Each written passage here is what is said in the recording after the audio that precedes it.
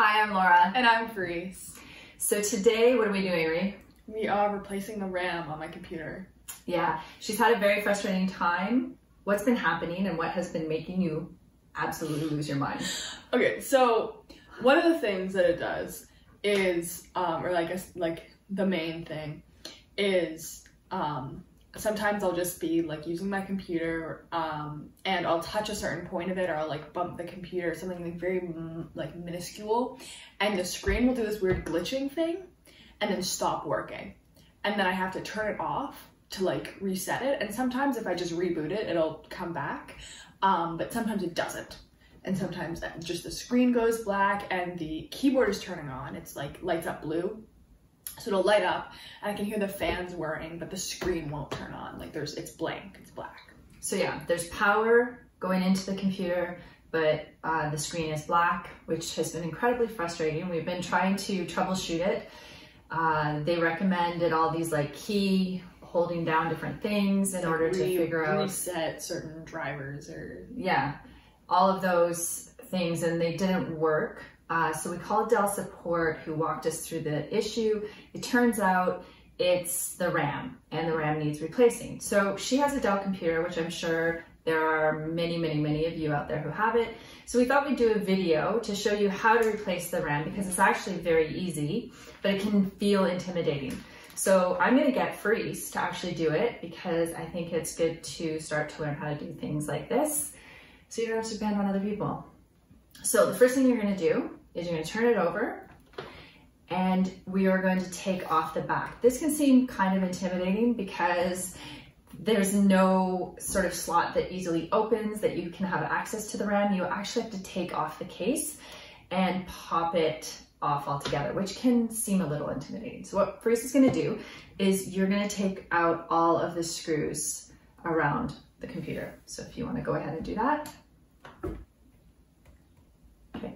When you get to the last set of screws up here, they don't actually come out and you'll know that you've unscrewed it when you hear that clicking sound, that click, click, click.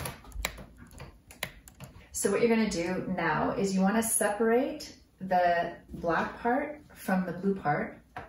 And in order to do that, if it's hard, like sometimes you'll be able to just pop it open. If you can't pop it open, if you just have one of these kind of tools or a tool like that. I think you could use a good, just a guitar pick. Yeah, something, credit card. anything to get in there. Don't use metal. but so put that in there and kind of pop it open. You'll hear a click.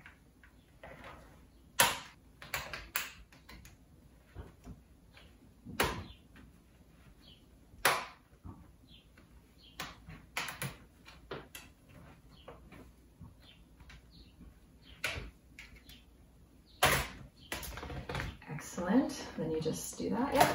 Okay, perfect. So our RAM is right here. If you're unsure of where your RAM is, if it's not in the same place, basically just look for something that looks like this. Like that. Uh, ours is tucked under these uh, cover things. So what you want to do is it has these two hinges on it. See these? This one here and this one here. So you, I'll do this one. Yep, and then you just pull it out. Good. And then you put the new one in.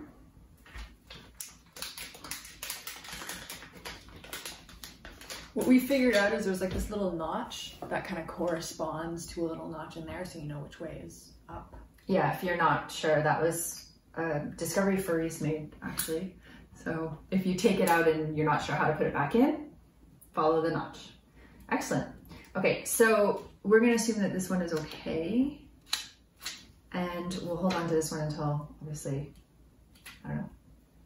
Um, okay, so now all you do is you put that back on.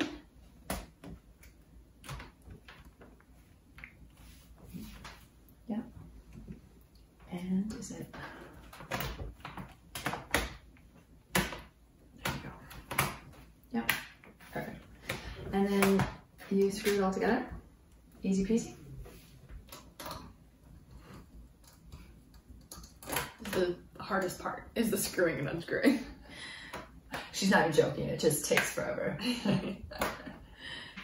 okay, so now that it's all screwed back together, you'll hear maybe a click as it the two pieces click back into place as you're screwing it. Then you know that you're good to go. So flip it over. See if it worked. If it turns on.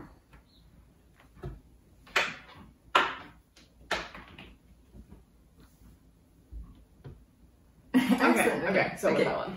Here. So you can see that her computer ah, is now working.